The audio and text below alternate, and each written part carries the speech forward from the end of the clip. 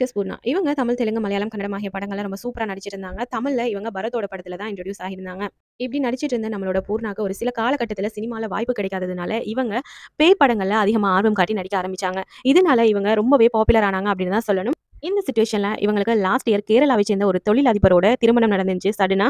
திருமணம் முடிஞ்சு கொஞ்ச நாள்லயே இவங்க கர்ப்பமா இருக்கேன் அப்படிங்கிறத அனௌன்ஸ்மெண்ட் கொடுத்திருந்தாங்க இது இவங்களோட சோசியல் மீடியால ரொம்ப வைரலாவே பேசப்பட்ட ஒரு விஷயமா இருந்துட்டு இருந்துச்சு. அதுக்கப்புறமா இவங்களோட வளைகாப்பு வீடியோஸையும் இவங்க ரொம்ப சூப்பராவே போஸ்ட் பண்ணியிருந்தாங்க. இப்போ அவங்களுக்கு ஒரு அழகான ஆண் குழந்தை கிடைச்சிருக்கு. இவங்களுமே இதை சூப்பரா ஹாப்பியாக அனௌன்ஸ்மெண்ட் கொடுத்துருக்காங்க இவங்களோட இந்த அழகான ஆண் குழந்தைக்கு ஹம்னத்